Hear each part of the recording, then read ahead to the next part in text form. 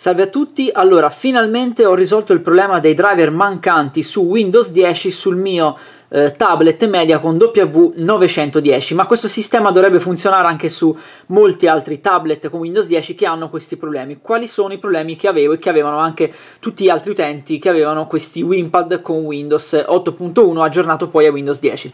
Allora mancava l'audio, mancava il simbolo della batteria, il touch non funzionava e anche i driver della scheda video non erano eh, adatti, ovvero vedevo proprio un rallentamento sia in fase di avvio sia nell'utilizzo delle applicazioni un po' più pesanti.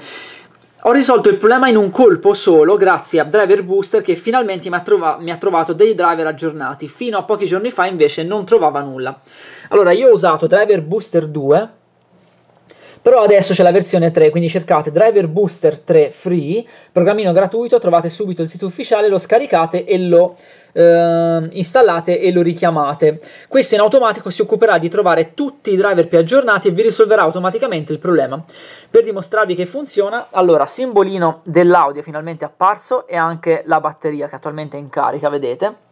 Touch, come potete vedere, adesso funziona, eccolo qui e anche la reattività è migliorata sicuramente, anche il trascinamento delle finestre, vedete, molto più fluido, prima mi scattava, e anche lo spegnimento e l'accensione finalmente sono eh, fluidi.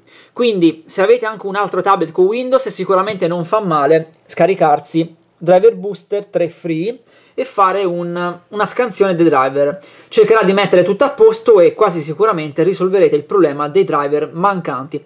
Questo su eh, Wimpad, il mio modello è anche quello con 3G. Se avete altri tablet non è detto che funzioni, però eh, siccome tutti i driver erano su Intel, questo ha un Atom, Intel Graphics Inside e vari componenti che sono comunque simili nei vari notebook, ci sta che questo problema si stia risolvendo un po' per tutti.